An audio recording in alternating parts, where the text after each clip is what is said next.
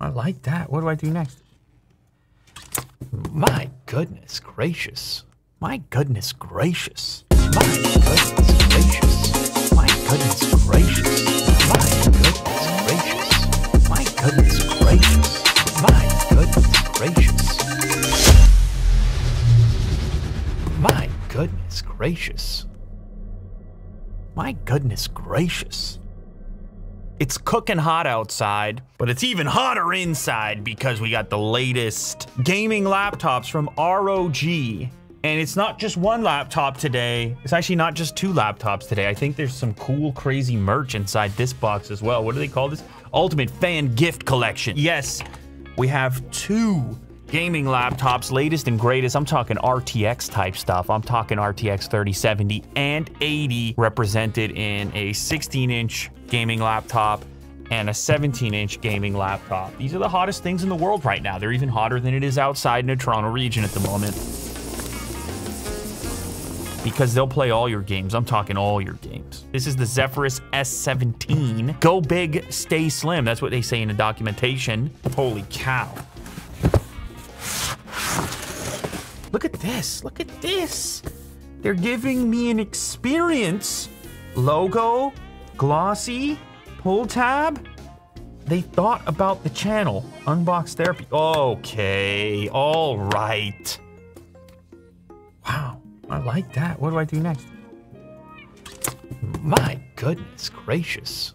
My goodness gracious. You go up to the left. You go up to the back triggering this mechanism which lifts the laptop, which is also a precursor to the mechanism living inside the hinge of the laptop. So you're getting a little foreshadowing for your purchase here. You're feeling special, you're feeling fancy and uh, exclusive for purchasing. So yes, it is actually fairly fairly slim RTX 3080 inside. I'm tempted. This is the only other piece inside the packaging. That's gonna be your power kit. What? You also can use it as a little stand? What? Oh, I use I can use the box as a stand for my angle of attack. Get out of town. Multi-purpose? Multi-function? That's an added little thought right there. Extra cooling? It's a thought right there. This is your power unit, and we are looking at 280 stinking watts. The most important portion of any unboxing video on a fresh new gadget, it's gonna be the plastic unwrap, obviously. Oh yes, very nice. Now this, I can tell you with the plastic on there, this is cool to the touch. We're talking metallic components all the way around. SSD times three? Holy cow. 11th gen Intel Core i9 11900H, up to 48 gigs of RAM. My model, I believe, has 32 installed. You have a choice of different displays, G-Sync enabled QHD 165 Hz 3 millisecond, and a 4K 120 Hz option, 3 millisecond 17 inch panels. You either go resolution or you go refresh. It's up to you, but it's kind of nice to see even 120 Hz in the 4K model because I do enjoy pixels. I do happen to be a pixel peeper, is the way I've been described in the past. And that's a fine thing to be, actually. It's totally. So that their part number comes up with there. That is a 1 TB, ladies and gentlemen. It's a M.2 Samsung unit. Holy cow. Get out of town. That is a this is a beast in front of me. I don't know if you're gonna configure it that way. You will pay a few dollars for such a thing. We have three 1 TB NVMe M.2 SSDs in this absolute beast. Cowabunga. We also have uh, the most important characteristic, RTX 3080. And as we look around the device, we're gonna see a lot of opportunity for connection points. Two USB ports, a full-size SD card slot, which, uh, as you know, uh, we use a lot around this particular studio. Our power input, a full-size HDMI port, Ethernet jack, another USB-A port, Thunderbolt 4 times 2. Oh, and you can charge over this Thunderbolt as well if you choose to. And then a analog audio jack is there as well. We flip up. Ooh, we remove. And how about the matte black finish on the inside? I tell you what. And you see how the keyboard comes into a nice ergonomic position on the lift. And we got a little key travel in there as well. I like this dedicated scroll for multimedia. We have our power switch up in this location here. Speaker units look to be along the back side. This is gonna help out with cooling as well. As I lift this up, you see how we actually create some space in here. Now the bezel is quite thin on either side and they have fit that front facing camera on the top edge. I also like this little nub here for helping you lift the display. It's a nice full-size keyboard. Number pad is there as well. Direction buttons over here. And this is like a, a smooth, almost like rubberized feel, but still cool to the touch.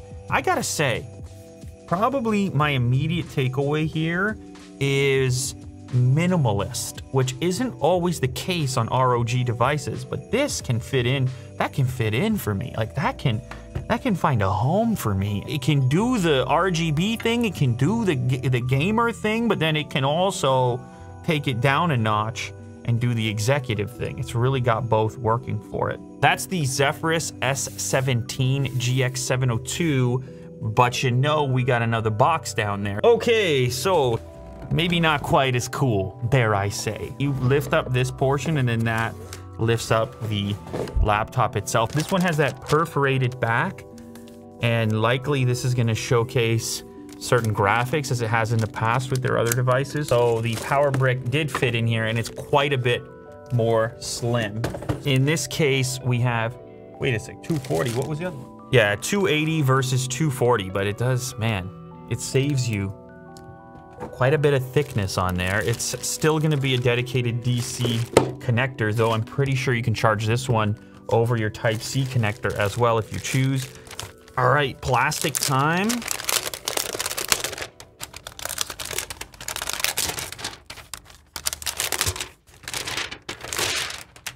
Similar finish going on. Matte black, cool to the touch. 11900H, i9. We have one SSD, and in this case, it's a 512. So the other one has been spec'd maybe more as a workhorse as well. Like I can see easily uh, doing video editing and content creation as well as gaming with three terabytes of fast storage. So this one is the world's first QHD 165 hertz 3 millisecond display with four-sided super narrow bezels, a 94% screen to body ratio. I mentioned previously RTX 3070 with liquid metal thermal compound, which sounds fantastic to me, and a 90 watt hour battery with Thunderbolt 4 power delivery. They claim that the 16 inch display on this model is fitting into a 15 inch chassis. Your memory, it's similar, it's up to 48 gigs. Uh, depending on your configuration. So moving around the device, USB type A, a micro SD card slot instead of a full size SD like we had on the other one. Here's your DC input for charging, full size HDMI again, full size ethernet, USB type A, and then there are your Thunderbolt 4 ports, including the power delivery on this particular port. And then you have your headphone output at the very front, which is kind of nice actually. I just thought about that. You place that right there, now your headphone travel, you can use one of those short headphone cables and you're right there. It doesn't even have to reach over there. Okay, we lift it up and yes, it is very, very slim bezels over there. You have the similar action. And in this case, the keyboard portion is not exclusive of the remainder of the laptop deck. So when I lift this one up, the entire deck is elevated off of the surface as a whole. It also kind of jumps up in front of the lower bezel. So when you look at it at an angle, it's the screen to body ratio even seems more aggressive than it is because the chin is completely out of view once this portion jumps up in front of it and it's able to dip down like that. Also, I'm noticing that this model has a tremendous range of motion. So normally on a gaming laptop, it's gonna stop around here, but this one just keeps going. So we have our front-facing camera up there, which they've had to shrink it way down. It also looks like it probably has Windows Hello in order to get it into this tiny little bezel on the top edge. Keyboard, once again, super minimal, which I appreciate, but still full size. Of course, on this 16-inch model, there is no number pad as there was on the previous one. The last box for us to look at is the special box.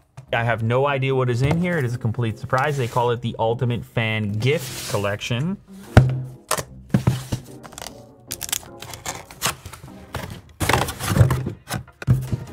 The old box in a box trick.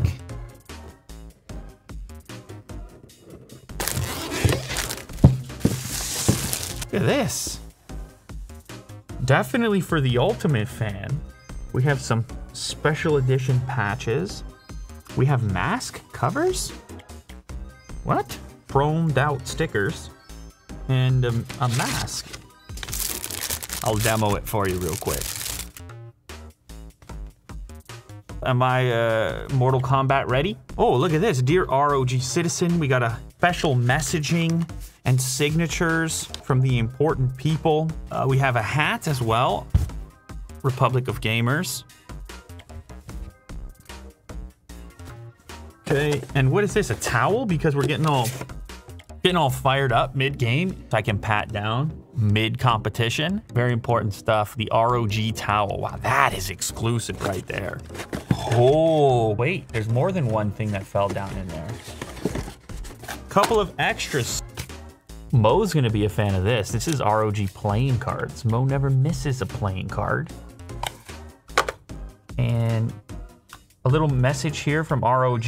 Our mission by innovating products that offer an exceptional experience for gamers, we can create a world without limits. It's like got like this 8-bit kind of style to it. And ooh, I like it. It's like an 8-bit style. I mean, we got the rocket ship king to the moon, of course. It's like some of them are classic, but then a few of them have some different design elements to it. That's a cool Joker card. Look at that. Last but not least, ROG building block. Whoa, get out of town. We're talking little Lego-like building block. What do I build? What do I build? Oh, tiny nubs. Interesting. What do I build? Oh, it's gonna be an ROG logo, I bet. Cool. You gotta build that for the B-roll now.